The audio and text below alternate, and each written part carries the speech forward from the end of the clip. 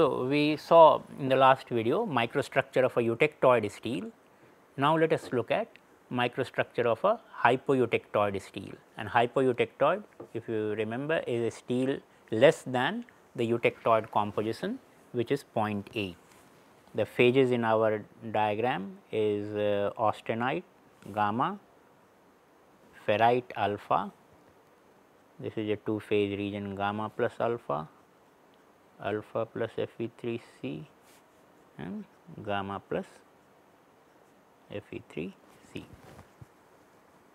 I hope you are gradually becoming familiar with these phases and these uh, nomenclatures, names and symbols alpha ferrite, gamma austenite, Fe3C cementite and so on. And the hypoeutectoid steel in our case is a steel less than 0.8. So, it will be in this side. So, let us take a vertical line corresponding to our hypoeutectoid steel. So, let me take this line.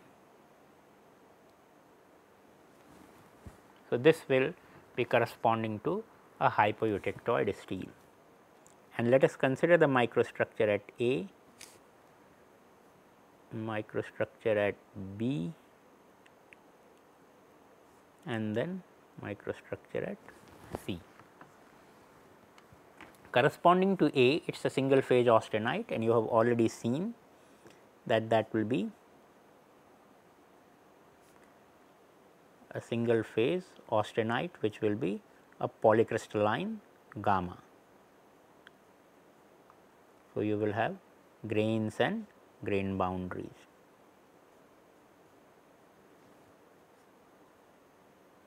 gamma and these lines which you see in the microstructure are grain boundaries. Now, when you cross this line the gamma gamma plus alpha boundary then you enter into the gamma plus alpha phase field. Notice that austenite was already present austenite was already present. So, the new phase which is occurring is alpha. So, which means if we cross this phase boundary alpha will start forming. So, to look at the microstructure at B which is in the two phase region, we can again start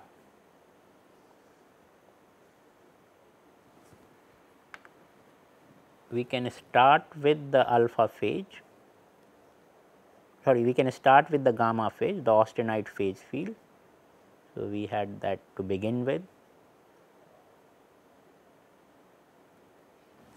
So, this is our beginning austenite, but then alpha phase will start forming at various locations and we will see when we discuss phase transformation that there is something called heterogeneous nucleation. A new phase which wants to form prefers to form at grain boundaries. So, quite often the alpha phase will form at the grain boundaries. So, this is a new alpha phase which is forming and I am showing that them to be forming at the grain boundaries.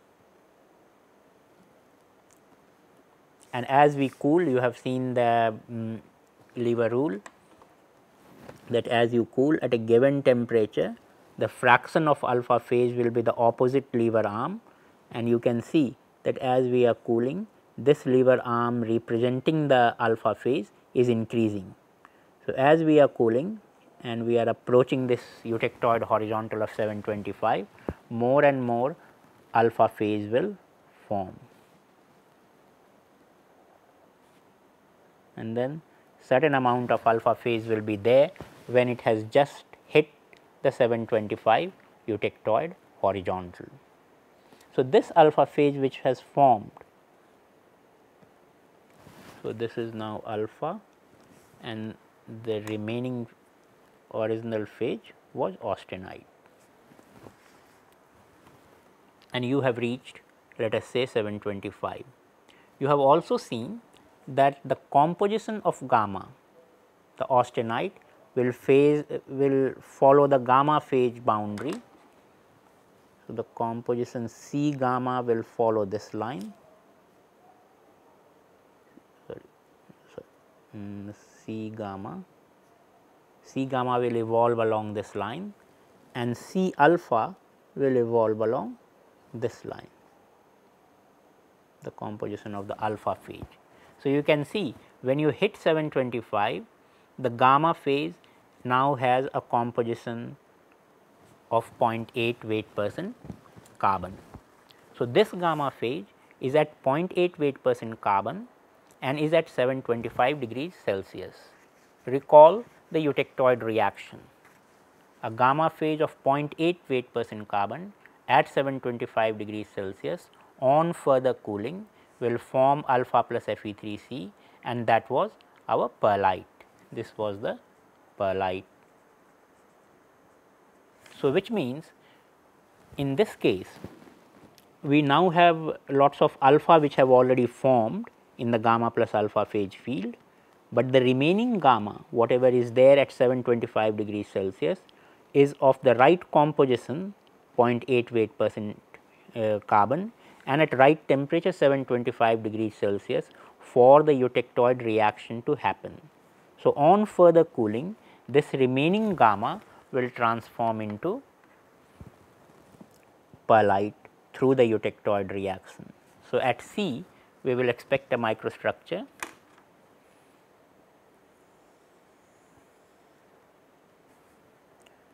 Whatever original ferrite alpha which you had formed will remain.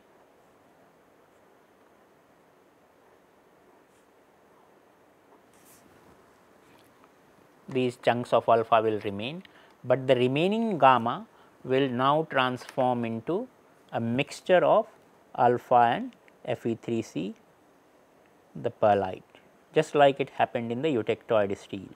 Only difference is in the eutectoid steel the entire alloy transformed into this perlite.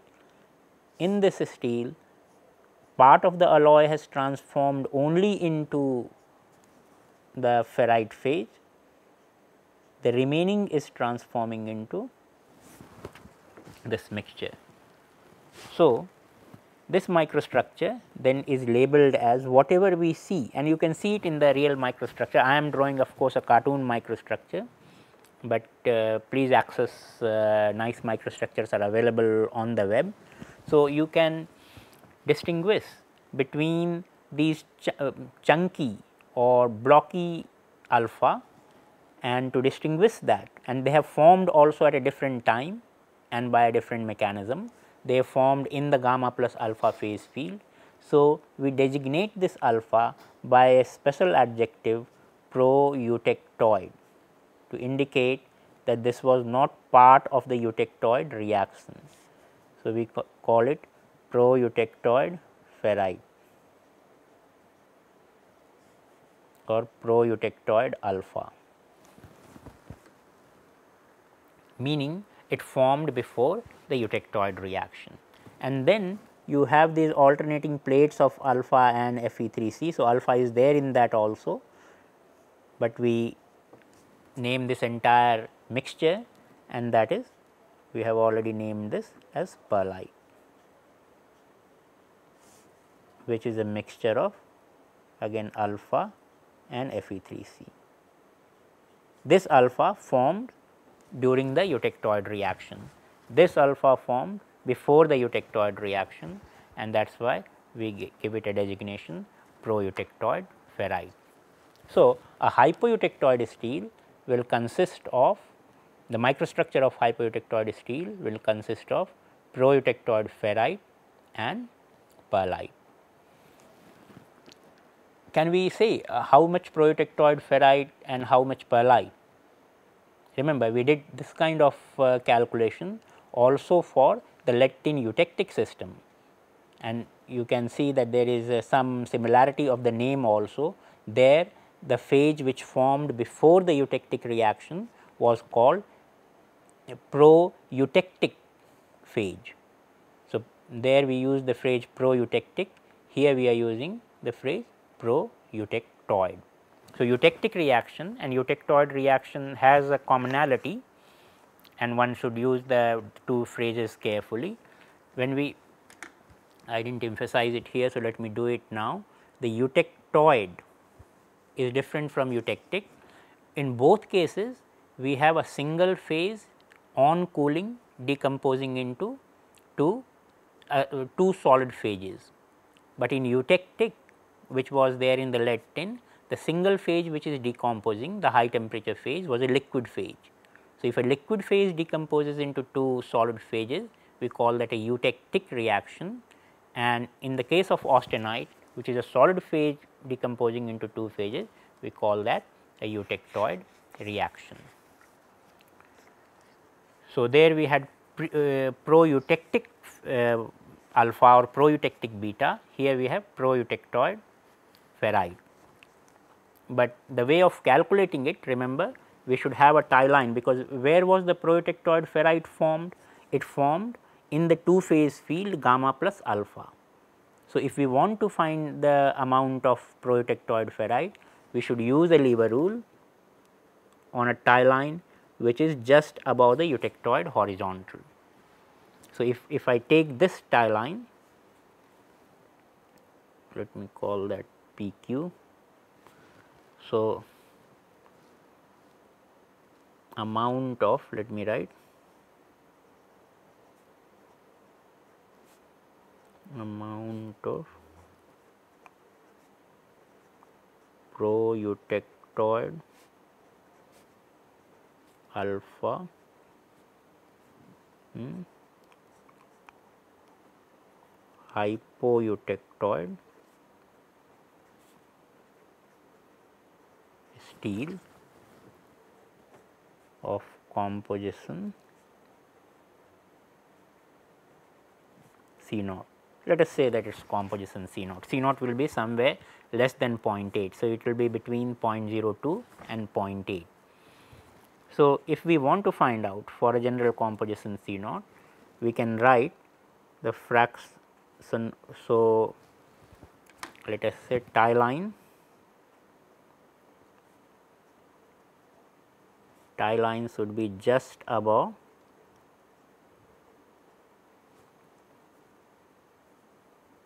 the eutectoid horizontal just above the eutectoid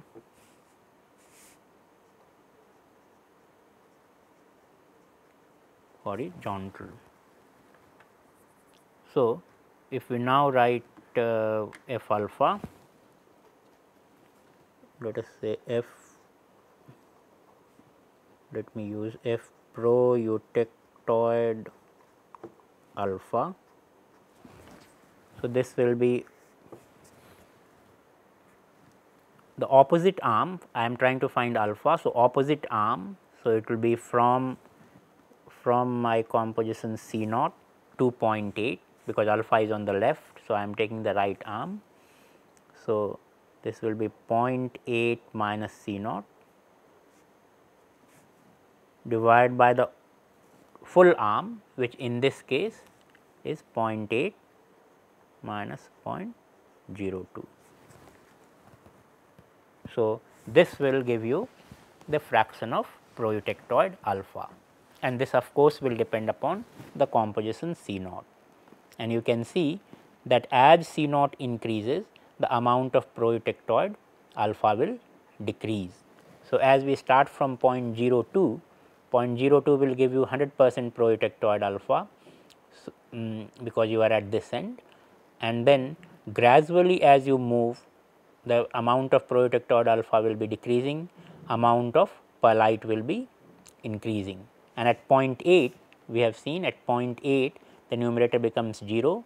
So, amount of pro-eutectoid alpha will become 0 and you will have 100 percent pearlite which is what we had seen in the case of eutectoid steel.